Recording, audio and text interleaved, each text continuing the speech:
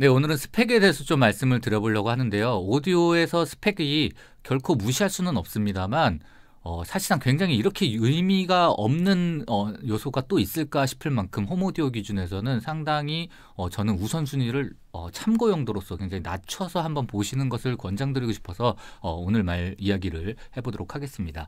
일단 스펙이라는 것은 어떠한 어, 규정된 값 기, 기준치에서 그것을 측정을 했을 때 어떤 값을 나타냈다라는 것을 통해서 A와 B라는 두 가지의 뭐 제품 중에 어느 것이 더 우수한가 어느 것이 조금 더 떨어지는가를 예상을 할 수 있는 혹은 어떠한 특성을 가지고 있는가를 어, 미리 어, 참고해서 알아볼 수가 있는 그런데 상당히 유의미한 어, 결과라고 볼 수가 있을 텐데 어, 이게 어떤, 그, 모든 브랜드마다, 오디오 브랜드마다 또 제품 라인업마다, 그러니까 앰프라든가 뭐 스피커마다 이런 계측하는 방식들이 조금씩 어, 상이하다, 상이하거나 어, 미국 규정 기준에 의거한다던가 뭐 영국 기준에 의거한다던가 이런 류의 차이에 의해서 또 랩 환경 그것을 측정하는 환경에 따른 차이들 때문에 실제로 어, 브랜드마다 어, 표기하고 있는 기준 값이라는 것이 어, 한 브랜드 내에서는 유의미한데 복수의 브랜드에서는 의미가 계속 계속 떨어져서 사실상 의미가 없는 수준까지도 떨어지는 부분들이 있다라는 것입니다.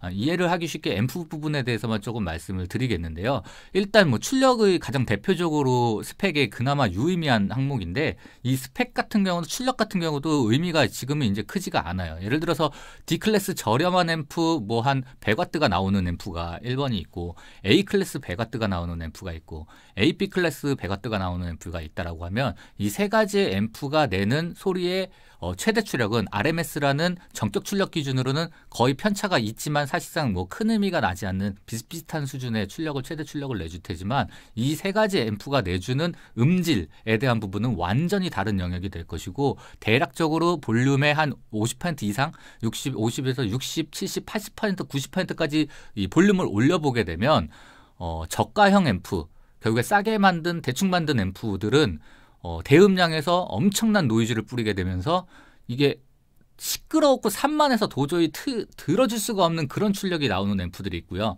100와트대 앰프이지만 95% 100%까지 볼륨을 올린다고 해도 다 들어줄 만한 아주 고품질의 소리를 내주는 앰프가 있기 때문에 어, 낮은 퀄리티의 어, 소리를 노이즈가 엄청나게 다수 포함이 되어 있는 어, 앰프로 소리를 크게 지르, 지를 수 있는 능력을 가진 앰프가 숫자만 본다라고는 그 제가 말씀드린 좋은 후자인 앰프들과 어깨를 견줄 수 있는 것처럼 보이지만 실상은 완벽하게 다른 엄청난 레벨 차이를 나타내는 어, 성능으로 어, 변화가 되기 때문에 어, 이게 출력만으로는 어, 생각을 할 수 없어요. 왜냐하면 출력은 어, RMS 기준이라고 하면은 뭐 약 1m 거리에서 1kHz의 소리를 재생을 했을 때 어, 얼마만큼의 큰 소리를 낼 수가 있느냐라는 방식으로 이게 굉장히 짧은 시간으로 계측하거든요. 그냥 딱 순간이에요.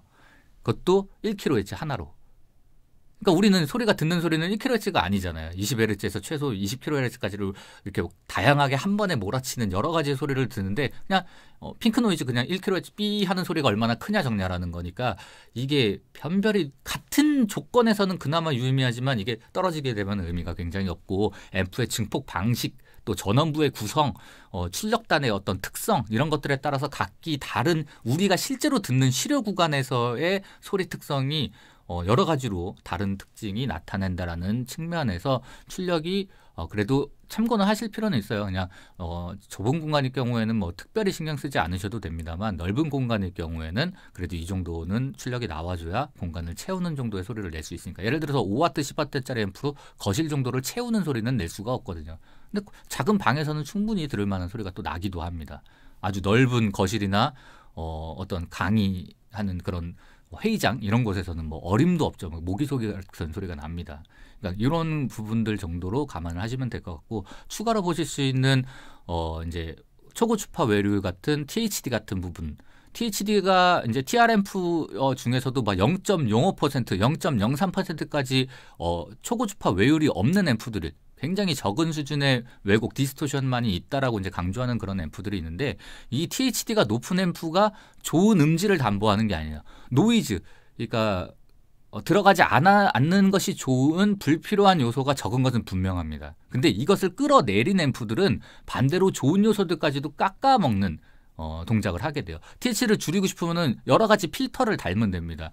어, 네거티브 피드백 회로를 집어넣게 되고 관련한 거의 모든 회로에다가 다 필터를 주렁주렁주렁 달아, 놓게 되면 관련한 어, 스펙이 촥 올라오게 돼 있어요.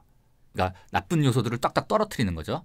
이렇게 되면은 되게 좋은 스펙치가 나오게 되는데 그러한 앰프들을 실제로 들었을 때 어 이거 이 앰프 진짜 좋은 소리가 난다라고 생각이 된 경우가 저희 경험치 정말 많은 기변을 했습니다만 그런 앰프류에서 저는 감동을 받은 적이 정말 거의 없어요. 근데 거꾸로 그러면 진공관 앰프다.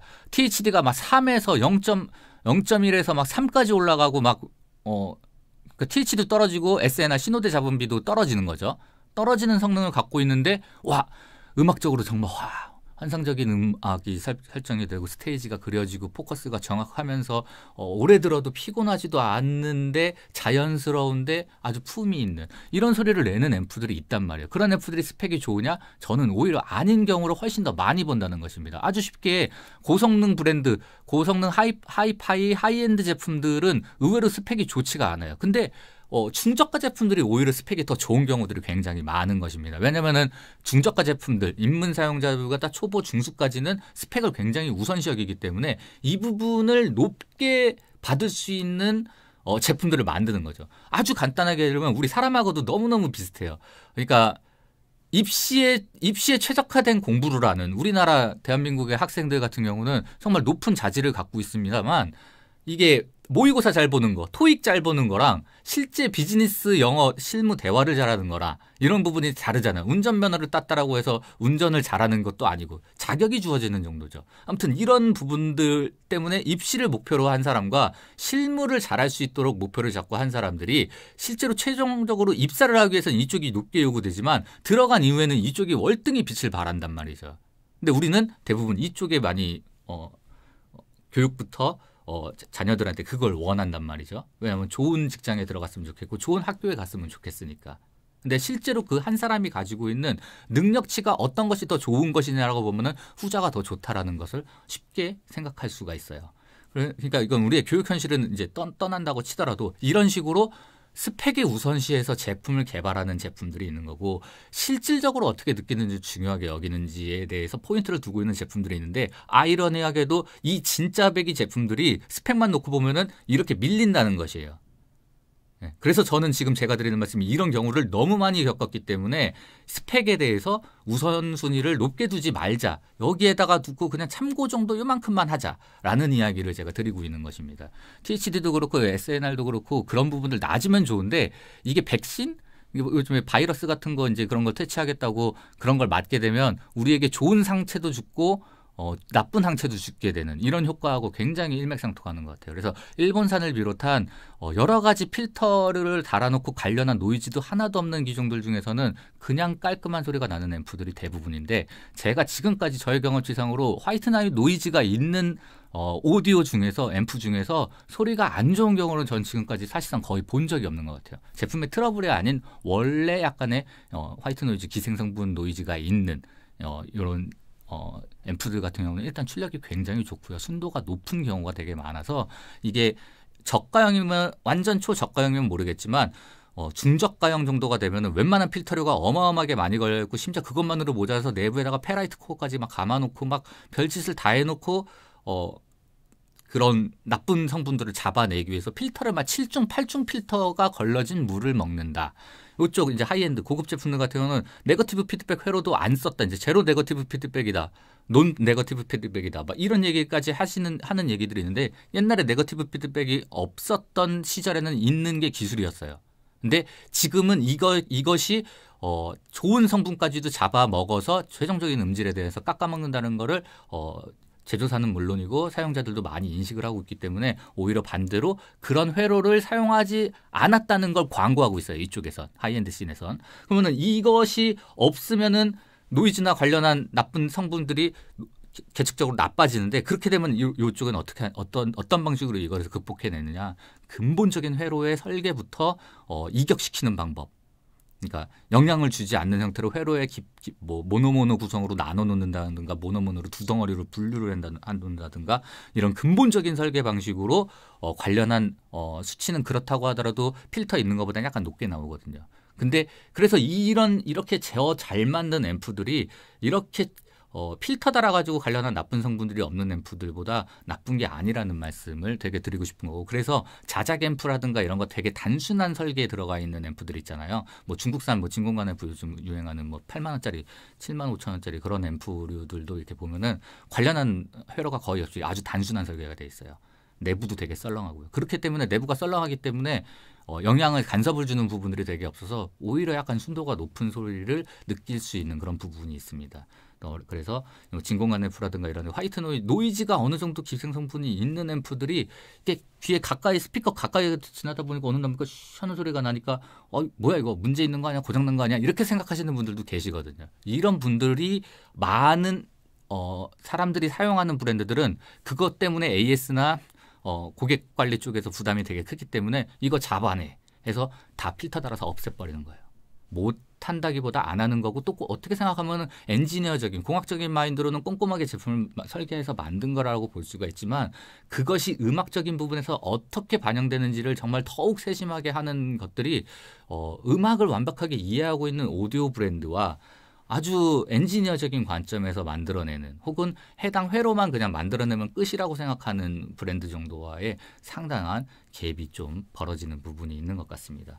스피커 같은 경우는 어 그래도 이제 음압이라든가 허용 정적 최대 입력 어, 출력, 최대 출력까지 이런 부분까지는 좀 어느 정도 이해해 볼 만하지만 음압 같은 경우도 결국에는 소리의 크기를 말하는 거지만 우리가 음압이 높냐 낮냐로 구동이 쉽냐 없냐 어, 어렵냐를 가늠해 볼 수도 있는데 어느 정도 그래도 앞서 말한 것보다는 영향이 조금 더 있어요. 하지만 어, 음압이 낮다고 해서 꼭 구동이 어려운 것만도 아니고 음압이 높다고 해서 구동이 꼭 쉬운 것만은 아니다.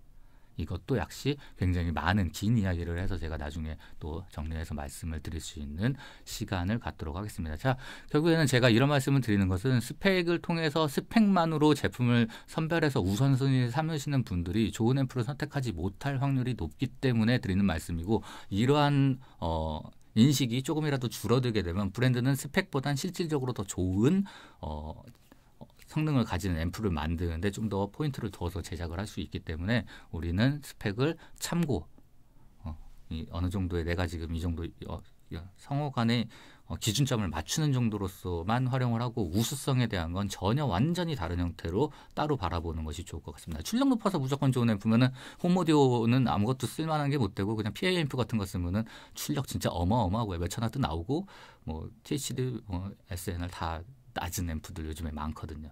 근데 그런 앰프 홈에서 써보세요. 거친 느낌 때문에 피로한 느낌 때문에 쓰기가 상당히 뭐 충분히 쓸 수는 있습니다만 약간 고품질적인 부분이 부족한 건 분명한 사실이거든요. 일부 아닌 어, 잘 만든 앰프들도 물론 있지만요. 비교를 했는데 좀 한번 보면은 스펙은 모를 때 되게 유용해요.